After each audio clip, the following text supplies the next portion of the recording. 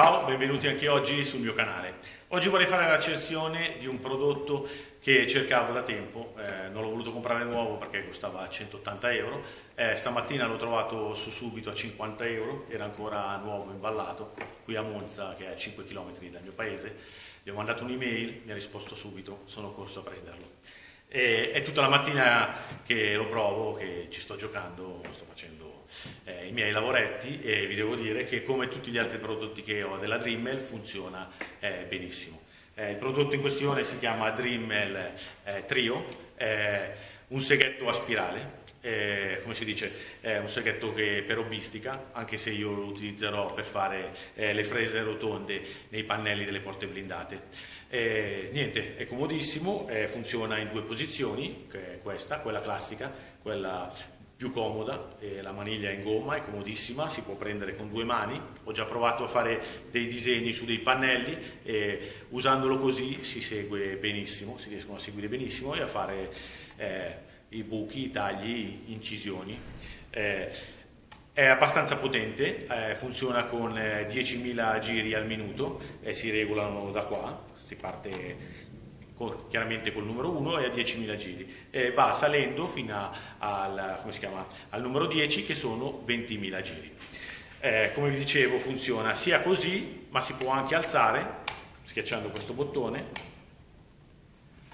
vedete? Funziona anche in maniera dritta. Eh, le basi sono due, c'è questa base che è quella classica, che è anche in gomma, eh, funziona sui supporti funziona benissimo, oppure si può mettere questa che è la classica base della Dreamer, quindi se si alza in piedi a 90 gradi si può utilizzare per fare i buchi, che sarebbe quello che eh, ho intenzione di usare io, e niente è regolabile, come vedete, come tutti i prodotti della Dreamer. Eh, come vi dicevo funziona a 10.000 giri, eh, eh, all'interno troveremo eh, due frese, eh, questa è quella per fare le fresature, che dopo testeremo, funziona benissimo, ho fatto delle fresate perfette. O se no c'è quella per fare eh, i tagli, questa serve per tagliare.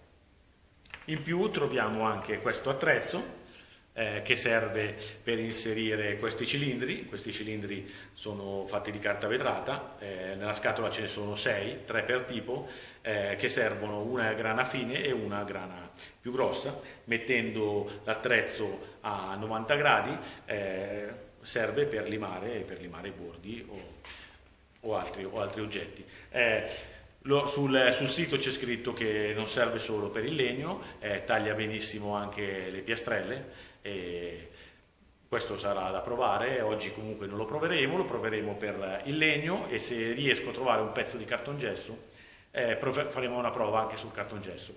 Eh, ho visto un video su YouTube eh, che una persona lo usava per fare i buchi del cartongesso per inserire le prese. Eh, per questo funziona benissimo. Eh, come vi dicevo, eh, questa presa è in carburo, è molto dura. E, ecco, l'unico problema della Dremel, ve lo dico già da subito, dovete spendere un pochettino se poi volete comprare eh, gli accessori, perché purtroppo la Dremel fa accessori dedicati. Per esempio eh, questa fresa, vedete, ha il collo da 4,8, nessun altro articolo, neanche quelli della Dremel, funziona con attrezzi da 4,8. Quindi eh, trovare le frese di un'altra marca è difficilissimo, anzi praticamente impossibile. Io ho trovato quelle del classico Dremel, eh, quelle che sono da 3,2 mi pare, su AliExpress si riescono a trovare, ma visto che questo è un attrezzo che costa un pochettino, è un po' di nicchia, non ce le hanno in tanti, bisognerà comprare le sue originali. Ho già visto tre frese, tre frese costano 45 euro, che sono quelle per, fare, per arrotondare i bordi o per fare delle incisioni particolari. Eh, poi comprerò anche quella e testeremo anche quella. Per il momento eh, andiamo eh, sul mio banco prova e proveremo a fare una fresatura. Nella sua scatola troveremo anche questa dima che si può usare in due metodi. Si può usare come dima normale, vedete, per andare dritto, oppure, eh, come vedete qui c'è un pistoncino che esce, si farà un buco del 4 eh, si aggancia sempre al Dream e si userà questo come dima. Questo serve per fare i buchi eh, rotondi nei pannelli. Dopo la testeremo. Per il momento la usiamo nel modo classico.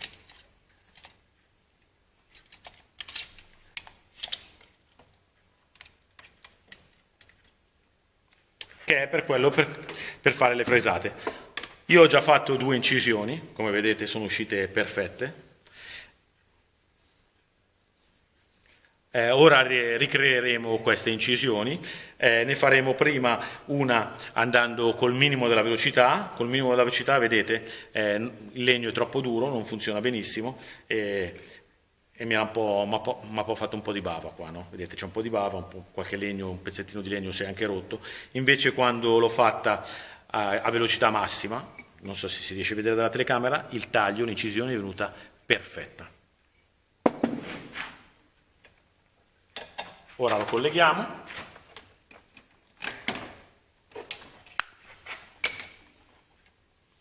E proveremo subito a velocità alta.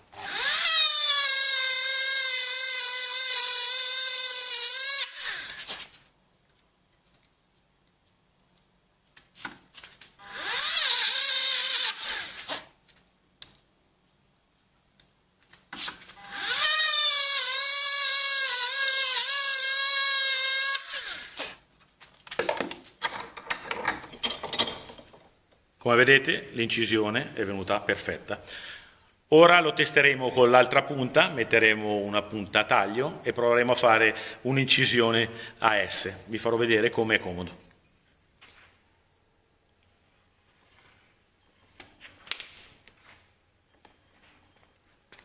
Come vedete ho cambiato la punta, ho messo la punta da taglio, ora proveremo a fare un disegno a mano libera.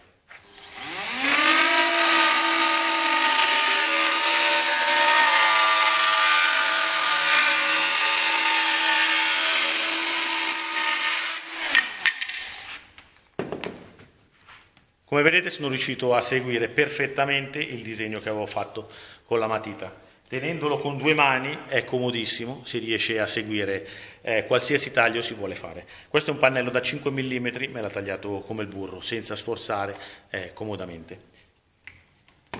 Ora cambiamo la base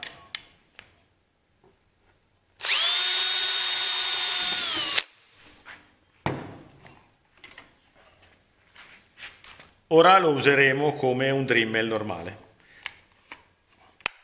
e vedremo come si comporta per i lavori che comunque alla fine dovrò fare io.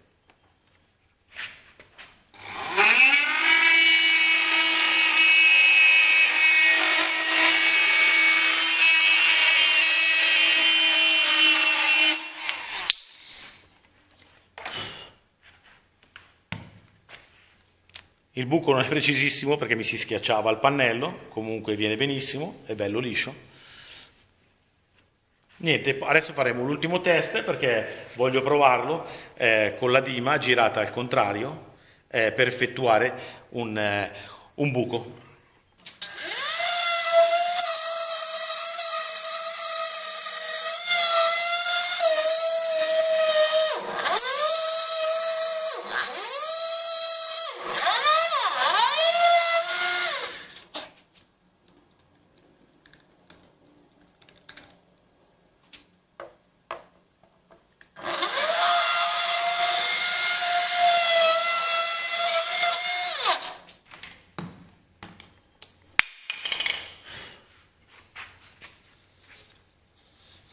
Come vedete ha funzionato benissimo anche per fare un buco in questo pannello. Questo pannello è un pannello di alluminio, poi c'è l'MDF, come vedete MDF, poi c'è il polistirolo, un altro pezzo di MDF e poi un'altra, un'altra lastra eh, da un millimetro in alluminio.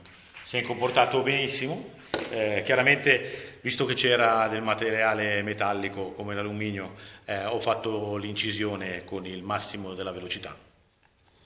La recensione termina qui, sono contentissimo del, del, mio prodotto Dreamer come del resto degli altri due prodotti che ho. Se siete interessati ai prodotti Dreamer fatemelo sapere e farò una recensione anche di quelli o quando mi arriveranno le frese per, fare, per rifilare i bordi, per fare i bordi arrotondati o squadrati, se siete interessati scrivetemi qui sotto e farò una recensione anche di quella. Eh, mi raccomando iscrivetevi al mio canale e se volete farmi qualsiasi tipo di domanda scrivetemela qui sotto e sarò lieto di rispondervi. Eh, buona domenica.